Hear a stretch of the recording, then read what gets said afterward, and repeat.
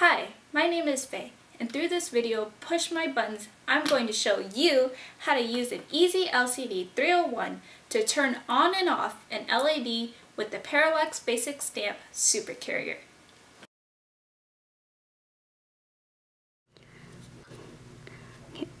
This is the ezLCD 301, and this beauty is a 2.6 inch Smart Touch LCD and this is a 400 by 240 pixel TFT color LCD.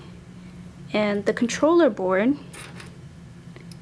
holds the graphics processor and memory, RAM, the USB serial port and I.O. pin interface, and a 4 megabyte USB flash memory, which includes the macros, images, and fonts.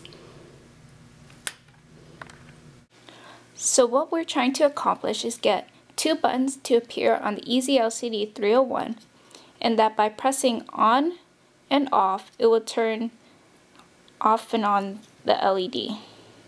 Turns on, turns off.